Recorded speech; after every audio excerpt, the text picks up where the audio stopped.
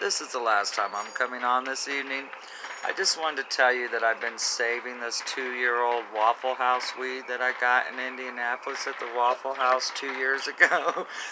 and this is the first street weed I've smoked since then because I've been going to the dispensaries and I'm very spoiled because I get whatever I want for pretty cheap. So I decided to bust out the Waffle House weed. I'll show you if you can see it. What she looks like. I rolled some big, got some big papers. Rolled a big fat joint.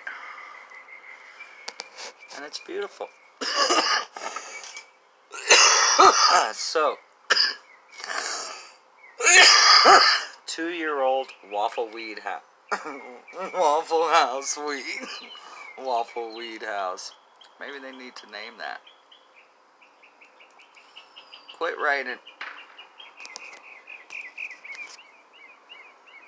This is the world in which I live.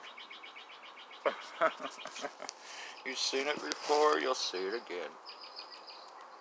So that's all I have. Waffle House weed. Booyah! Yeah, I almost saved the whole ounce because by the time I, I ran out while we were there, by, by the time I got back, I still had some. So I said, I'll put that away for stash if I run out. I haven't ran out in two years, so. I thought I'd try it. It's not stale. It's pretty good. 100 bucks an ounce. That's what they charged me, and they put it in a Waffle House cup. but you didn't hear that from me. And I'll deny it if it comes back.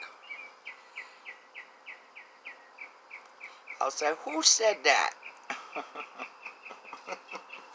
okay, I'm done for the night. Bye-bye.